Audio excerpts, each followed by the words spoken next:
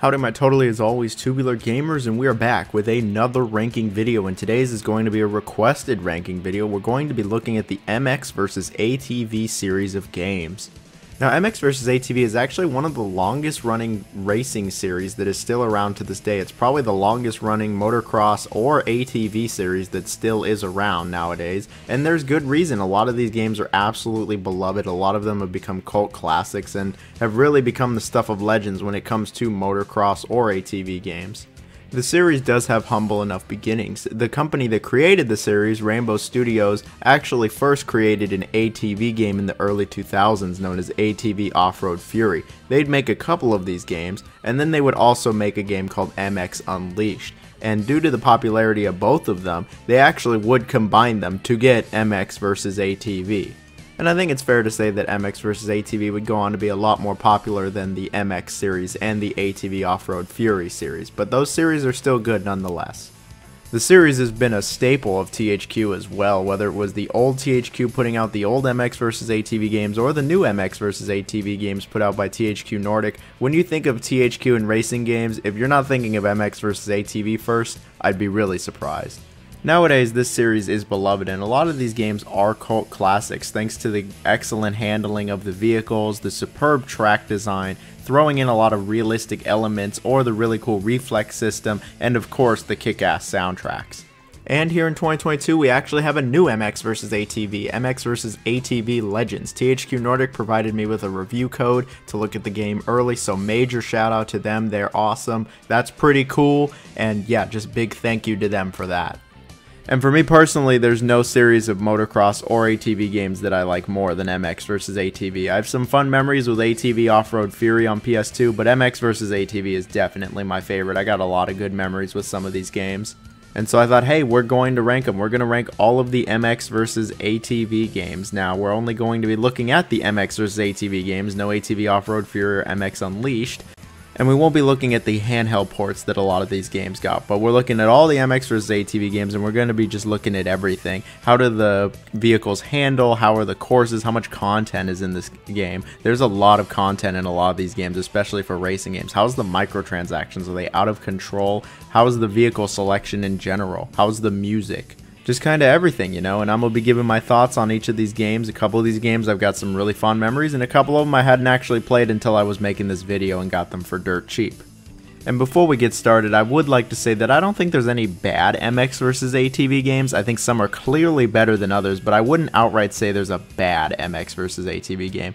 And that all of this is just my opinion. And let me know down below what your favorite MX versus ATV game is, or some fun memories you have with it, or, you know, something like that. Like, share, comment, sub, all that good stuff. Let's get right into it. What do I think is the worst of the MX versus ATV games?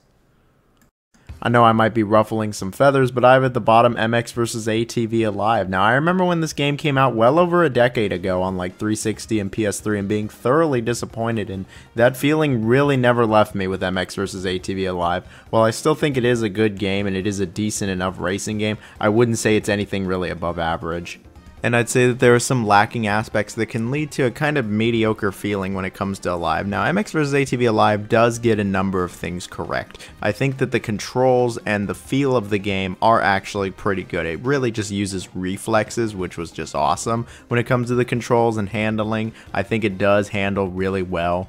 The controls were probably the best part of the game. I thought the tracks for the most part were pretty awesome too. I thought a lot of them were well designed, they were fun to go through. I thought these were good. I feel like when it comes to the core gameplay, Alive absolutely nails it, and I can see why some people really do enjoy the game. Unfortunately, I feel like everything outside of the gameplay just isn't all that great. I feel like the pacing and general progression in this game is very slow and just kind of feels like a crawl. It kind of sucks. It becomes really quite repetitive despite the game's short length. It's actually one of the shorter MX vs ATV games, and when it comes to content, it doesn't have anywhere near as much as the other games. And despite that, it still felt kind of repetitive. You just kind of play through the same couple tracks over and over and over and over, way more than the other games, till you finally get some new ones, and then you play those until you get sick of those too.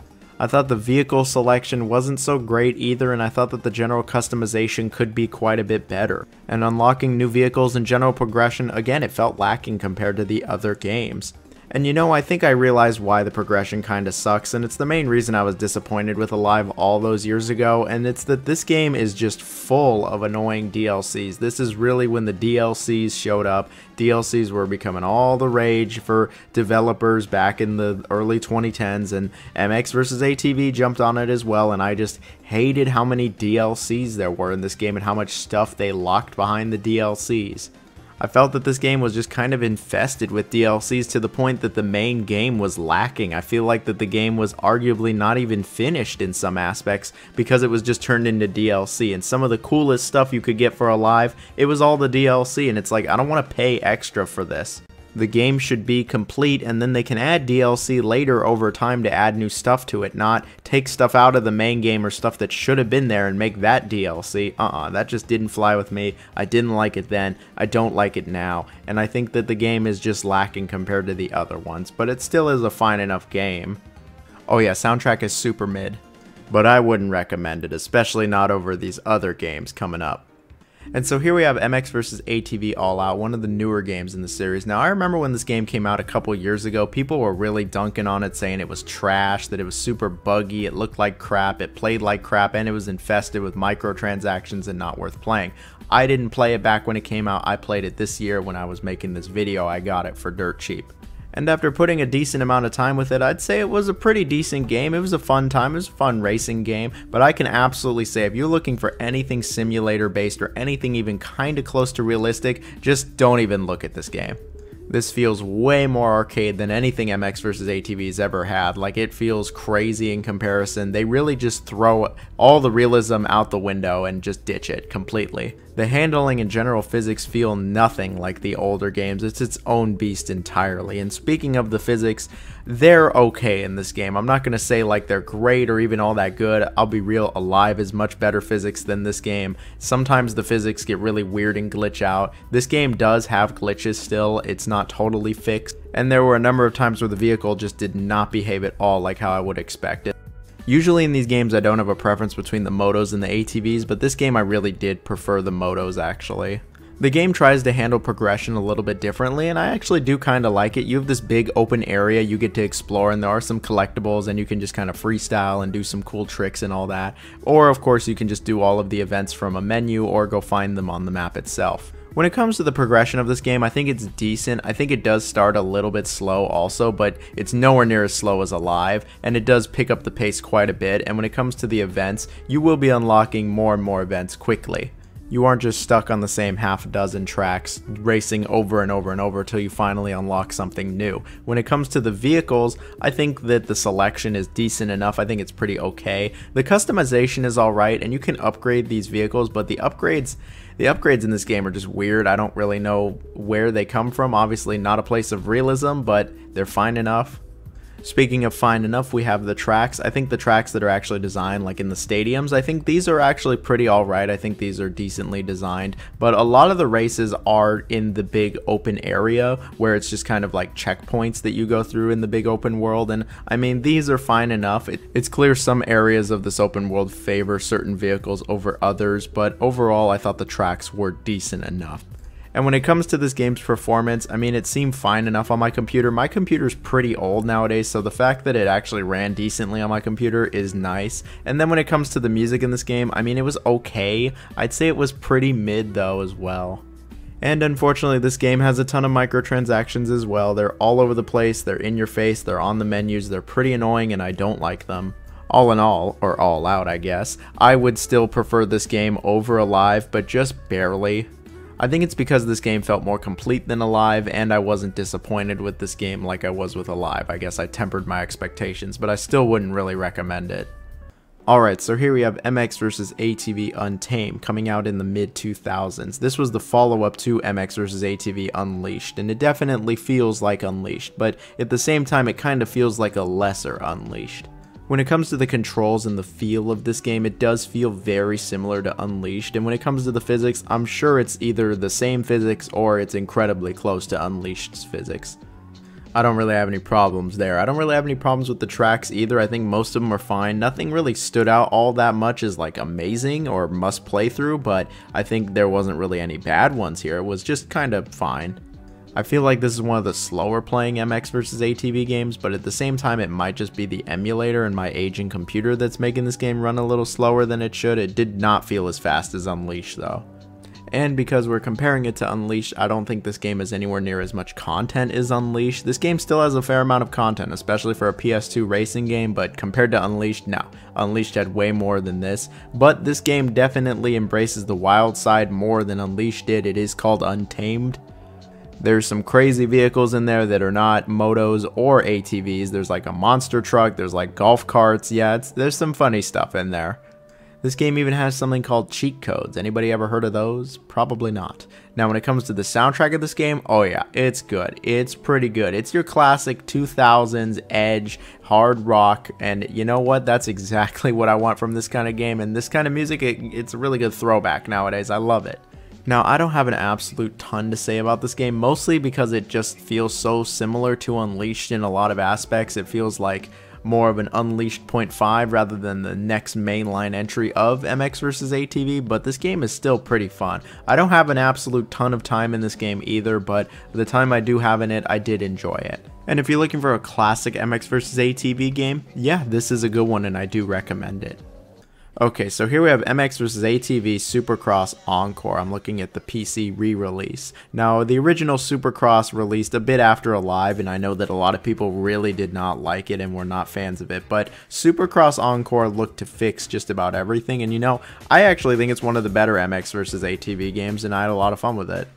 Now when it comes to the feel and general control of the vehicles in this game, it definitely feels the most like Alive. I would say generally it is pretty good when it comes to the controls. For the most part it is fine to actually good all of the vehicles really do handle pretty much how you would expect them to and I really do like the whole reflex system still being here. But I will say sometimes the physics are a little questionable. They'd occasionally just feel a bit wonky and really it was just with the bikes that it didn't react how I thought they would but it wasn't a common enough occurrence to where I'd say it was bad or anything like that. It was just alright now when it comes to the vehicle selection and the general customization, I think it was decent enough. It was actually pretty alright. It wasn't mind-blowing. There wasn't a ton of options here, but you know, it was actually alright. It was more than alive, that's for sure.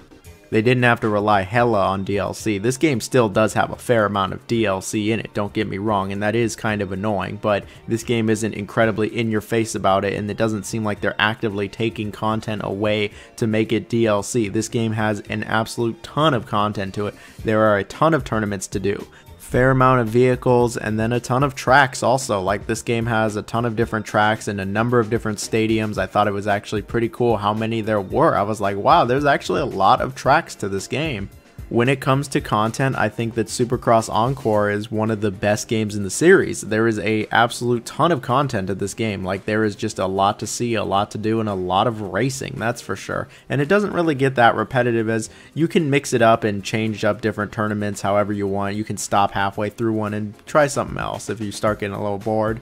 And yeah, you could put a lot of time in this game, well over 15 or 20 hours if you want to try to complete all the tournaments. That That's a lot, especially for a racing game like this.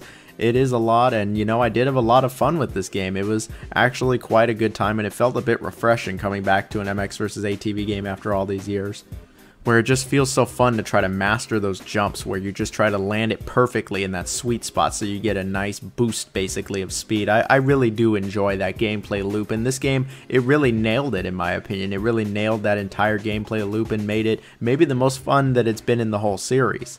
It's not all amazing though. The game does have some microtransactions. Some of them can be a little annoying. And then the soundtrack in this game, yeah, it really wasn't that great. It's my most disappointing aspect for sure. I was just like, huh, this isn't even mid. This just isn't very good.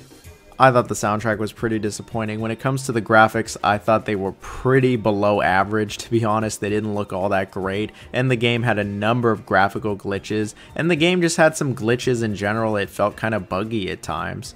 But overall, Supercross Encore I think is actually kind of an underrated racing game and I think that it is actually still pretty fun and if you like moto games or ATV games, yeah you should give it a try if you haven't already. So here is MX vs ATV Unleashed, the first proper game in the MX vs ATV series. And you know, when it comes to nostalgia, this is probably the most nostalgic game on the list for most people. I have read so many comments throughout the years about how people have good memories with Unleashed, how people have fun memories in the multiplayer, or love the soundtrack, or love how the bikes handle, or just love this and that about the game. And you know, all these years later, MX vs. ATV Unleashed, this game still freaking rules.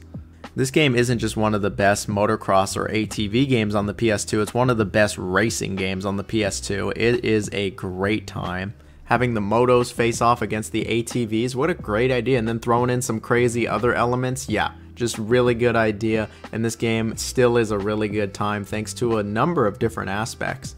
This game has actually aged incredibly well, almost shockingly well. The controls are actually still really solid. The physics are still really good. The ATVs and the motos, they actually control really nice still. The physics are still there. It's still actually good. You don't come back, it's not clunky as shit. It's not really awkward and weird it still controls great. When it comes to the physics, it is decently arcade. It's nowhere near as arcade as, say, All Out, but it doesn't really go for that realistic simulator vibe, and the reflex system isn't there with the right stick. Doing tricks, though, is still incredibly satisfying the handling feels just so smooth even all these years later. It's just a really nice feel and the gameplay loop of you know going up on these big jumps and trying to land in the right spot to get that boost of speed that i talked about in supercross encore oh yeah it's absolutely here and it's just as good really this game feels really fast. It has a really good sense of speed to it and you feel like you're just whipping around these corners and going on these giant jumps. And you know one reason it feels so great is the tracks.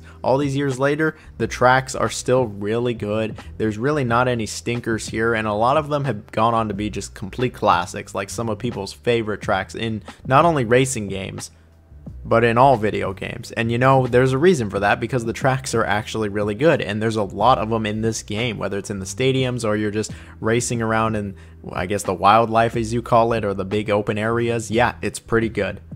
One of my favorite aspects of this game is the variety. This game actually has a lot of variety, especially compared to the other MX vs. ATV games. There's a ton of different environments here, and a lot of the environments actually control a little bit differently from each other. It's not just all the same dirt and mud that you're driving through the game really does mix it up. This game has a ton of personality and charm to it as well that really has aged actually really well. There's of course cheat codes, there's other cars to drive in this game, and then there's the soundtrack. The soundtrack in this game is legendary. People love the music in this game, and I do too. It is so 2000s and it is just me. I get a lot of nostalgia, I get a lot of hype for this. I really do love the soundtrack in this game. There's no bad music here. It is exactly what I'd want from a game like this. A lot of hard lot of hard rock, a lot of heavy metal. It's great stuff.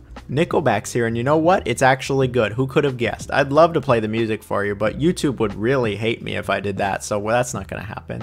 But yeah, this game has a ton of content. It is aged very well. The controls are great. It still is like a complete package. It is one of the finest MX or ATV games. And I have zero problem recommending it if you like racing games. You really should give this game a shot as it is actually really quite good. And here we have the latest in the series, MX vs. ATV Legends, and again, this was provided to me by THQ Nordic, so I'm giving another shout out to them. They're pretty awesome, they're pretty nice, and this is pretty cool. And you know what? This game is actually pretty good. I was pleasantly surprised, and I would say that it is one of the very best games in the series. When it comes to the feel, this game does feel somewhat realistic, but it has a lot of arcade. I think it strikes a really good balance, but something I really like is the customization in this game when it comes to the feel. You can actually customize the controls and the feel quite a bit in this game. Like you can turn the reflex mode off, you can make the vehicles handle a bit more realistically, you can make it so you can control them easier in the air. I do like the customization here. I think it does strike a good balance between that arcade craziness or if you want something more simulator based. Obviously, this game doesn't go into sim territory, but it's not trying to be a simulator, not even close. This game does have a nice tutorial as well, I think it introduces all the mechanics very nicely, and it's pretty quick too. But yeah, playing through this game last weekend was a really fun time. This game has a lot of variety and it all feels really nice, whether you're on the bike, the ATV, or the UTV. I actually really do like how the vehicles handle in this game. They feel tight, they feel like they got some weight to them. The bikes have a nice feel and they control like how you think they would. I really like taking them around quick turns and doing these long jumps with them. It's it's a good time. It feels really nice. Again, not simulator and it's not trying to feel like reflex, but it's way more realistic than All Out was. The ATVs actually feel really different from the bikes, which is pretty cool. It definitely has a lot more weight and you'll be drifting around a lot. You won't be able to make those quick turns like you could with the bikes, but the ATVs felt great, way better than All Out. And then the UTVs, these are pretty hefty boys. I mean, forget really turning here, you just kind of drift around. But I actually think that these are the best UTVs like in the whole series, control-wise. When it comes to the physics, I actually thought it was pretty good in this game. I thought everything handled pretty much how it was supposed to. The game does have its odd moments where it just kind of either glitches out or isn't really sure what to do, but those are few and far between. For the most part, I thought the physics were really good, and I thought that the drifting was especially good. This might be like the best drifting in the whole series. It was incredibly satisfying with the drifting. Maybe it's that visual effect of all the dirt flying up, but it was just really satisfying. Speaking of the visuals, I thought they were actually pretty solid in this game, especially for a PS5 like kind of budget title. Thought it looked pretty good. The game ran really well, didn't have any frame rate issues but I did have the occasional graphical glitch. Speaking of glitches, I did have a number of glitches while playing this game. I'm going to chalk most of them up to it's probably because I was playing the game before release and there'll be a day one patch that fixes most of these. I'm hoping, I'm assuming, maybe I shouldn't do that, but I'm assuming that most of these glitches will be fixed. Some of the glitches were funny, like people showing up on the racetrack and just driving through them. Some of them were annoying, like the audio syncing just being completely messed up and the volume going crazy. And some of them really did hamper the experience, like where the textures just disappeared, it seems. Something that they were hyping up before the game came out was the environments of this game. And you know, the environments are actually pretty good. There are some nice free ride areas that you can explore and get some collectibles and do some little time trials and stuff. I like these, but the environments for the races I actually thought were pretty great. There's like desert, there's forest, there's snow, there's mountains, and there's stadium. Now, a lot of these aren't new to the series, they've been in older games, but something that this game is really good at doing is giving them all a different feel. They all do feel very different from each other. They all feel very distinct. It's, it's really cool, actually. I actually thought that some of the tracks were the best in the series. I really did like the variety, and I liked how there were different routes in the racetrack. Like, you can take different routes to get to the same point. Sometimes there's little shortcuts even hidden in there. I thought it was really nice. I thought when it came to the game's pacing in terms of its career, it was also pretty good. It does really focus on the MX career way more than the ATV and the UTVs, but I still thought it was pretty good. There's a ton of content here. This game is actually quite long. And as long as you don't get bored of it, I could see someone getting easily 30, maybe even more hours out of the career mode in this game as there's just a ton of events to do for all three vehicles. The game also does have online play, but real big shocker here, I couldn't find anybody pre-release. When it comes to the microtransactions, I actually couldn't find any in the game at all. I don't know if it's because it's pre-release, but I could not find any. I searched. I hope it stays that way, but I really doubt it will. Also, music-wise, I'll be real, it's pretty mid. It was okay. Smashing Pumpkins is here though, so I guess that's pretty cool. And I guess the last thing to mention would be the customization of the vehicles. I do think the customization is actually pretty good, and there seems to be a decent amount of vehicles you can choose from in the game. And I would recommend that if you're going to upgrade any of these vehicles, you want to really crank the difficulty up, because if you're playing on normal and you upgrade your vehicles at all, this game is just way too easy. So in conclusion, I have no problem recommending Legends to anybody who likes MX vs ATV games. Maybe you took a break over the last couple years and you want to try to get into it, or maybe you're into racing games in general. I think you should totally check it out. I think it's pretty good, and I think it can only probably get better if the game gets continued support throughout the year but I don't think it's the best MX versus ATV. I think the best in the series is just gonna always be Reflex at this point because MX versus ATV Reflex is just a fantastic game. Reflex has really gone on to be one of my favorite racing games probably ever and easily my favorite dirt bike or ATV racing game. Reflex really just played to the series' strengths the most, more so than any other game. It just had it all. It had the fantastic controls, the great physics, the amazing soundtrack, a ton of content to it, and when it came to the tracks, I think it's almost unmatched how great they are. Even the free ride was hella good too. This was the first game in the series to introduce the reflex system where you control like the weight of the bike or ATV or car I guess with the right analog stick. So you're using both analog sticks to try to maintain balance and do some quick turns, get some high jumps and just go really fast. And you know, this was an amazing idea. Like I can't think of many racing games that have anything even kind of similar to this. It makes it so much more in depth and it makes it so much more engaging to just race in this game there really is a lot more to balance here, and I just really like the feel. Speaking of the feel, all the vehicles feel fantastic. Like, this is the best feel that the series has ever had, and when it comes to the physics, I think it really is the best as well. It's just excellent. I feel like every game after Reflex has just been trying to imitate Reflex's physics, and you know, I don't think any game has been able to do it as well as Reflex. A lot of games have the great physics, don't get me wrong, but Reflex, Reflex really is the king. It controlled the best, it felt the best, and there was no weird moments like some of the other games where it just kind of glitches out. There was like no glitches at all. It was really nice.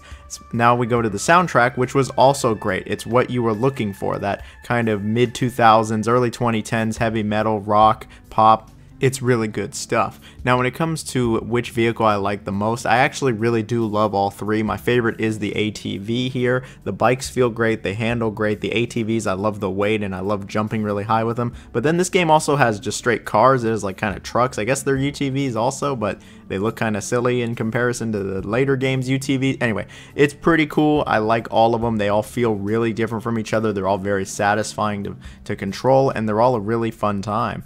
And hey, thankfully you got some really good tracks to go on. I think they're all really fantastic. The design is great. I think that all of them are really fun to go through. And yeah, there's just not really any stinkers here. It's all good. And then the free roam areas, I think these are pretty fun to explore as well. And I know a lot of people really do like the free roam in these games. And I just don't think it's really gotten better than Reflex in this aspect either. And then this game has an absolute ton of content to it as well. There are just tons upon tons of events. You can spend easily over 20, maybe 30 hours just doing the events in this game. There's a lot to see. And then there's the online. There are actually people still playing this game online because a lot of people think that the series never got better than this. I can tell you, you will find games, at least on PC, in 2022. And then there's no microtransactions. They're not locking anything from you by making you pay, which is always great. And I really wish that the series stayed like that, but that's a different story. Reflex, I really do think is the best one. I'd love to know what everyone else thinks. I think most people, most fans can seem to agree that Reflex is the best one, but if not, I'd love to hear why. That's it for this video. Hope everyone enjoyed it. Thanks again to THQ Nordic for sending me Legends. Really did have a good time. Great weekend playing it. Really fun time, and making this list was fun too. This series is pretty near and dear to my heart, especially when it comes to racing games. Hope everyone has a wonderful day. If you made it to this part of the video, comment bricks as in the thing they use to build houses. Have a good one. Bye-bye.